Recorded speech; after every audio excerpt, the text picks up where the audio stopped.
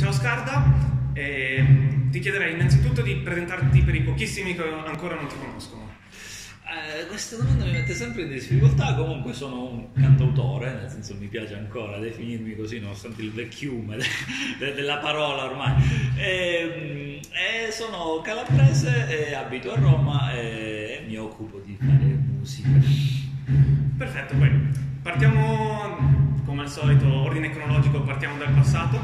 E vorrei chiederti, ehm, diciamo, la tua carriera è più o meno iniziata con l- un debutto quasi cinematografico, Sì.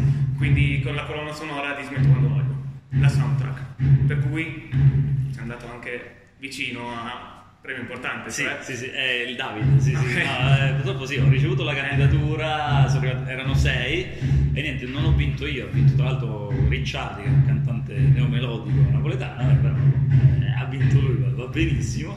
E, appunto è stata, è stata un'esperienza importante lo stesso, eh, sia non solo per, per il fatto della nomination, ma anche per- per- di per sé per aver scritto una canzone per un film era, ero veramente ai primi anni, primi, no, primi mesi di, di carriera e quindi fare subito una cosa che da, da nessuno ti poteva già dare un minimo di serietà come artista è stato importante.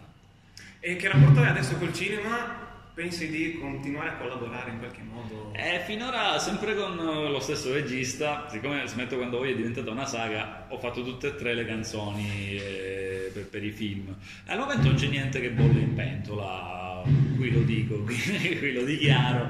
Eh, se, se capiterà, se- dipende, insomma, se il film è fico, eccetera, assolutamente sì. No, ma, eh, mi farebbe sicuramente piacere farlo di nuovo.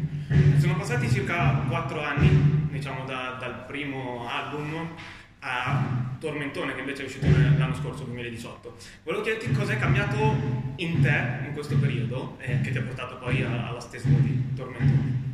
Eh, secondo me a livello proprio spirituale nulla, è, è un disco che è uscito con più consapevolezza in generale di alcune dinamiche sia del mondo musicale che, insomma, che tutto quello che poi ci sta intorno, l'aspetto umano eh, della musica e non.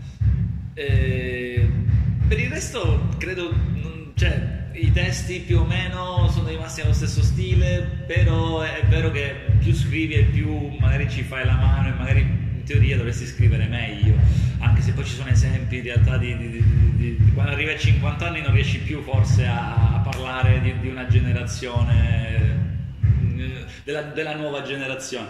Quindi eh, io penso che Tormentone è stato scritto con una maggiore consapevolezza di quelli, di quelli che erano eh, i sentimenti diciamo, di questa generazione che ascolta la musica oggi. Tormentone è stato, noi siamo di tutti giù per terra, quindi siamo molto legati alla musica live. Tormentone è stato accompagnato da un tour e da un altro tour che si chiama Fine Tormentone.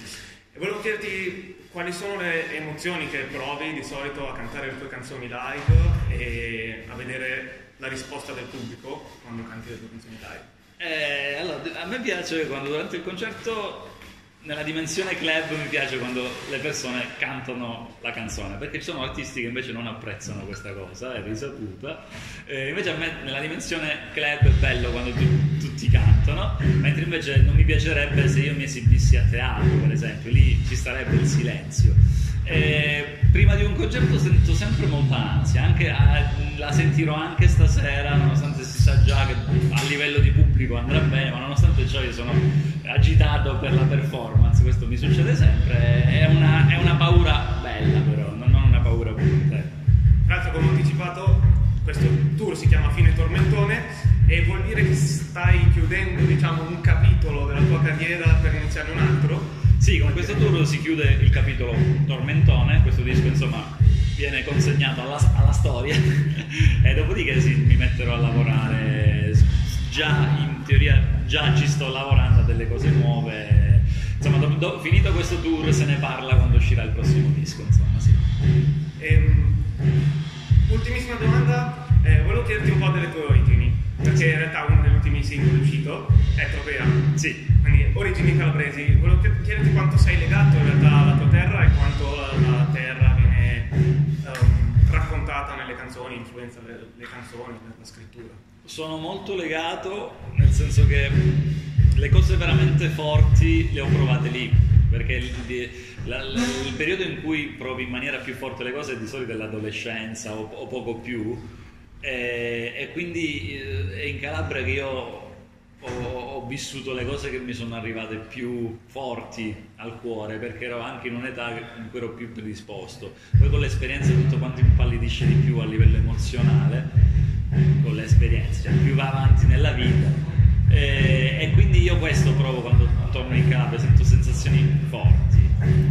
Perfetto, ultimissima cosa ti chiederei di salutare gli amici di tutti i giù io saluto veramente di cuore, visto che mi seguite dall'inizio, quindi io veramente vi ringrazio tanto. Un saluto a tutti gli amici di eh, Tutti terra. tutti terra.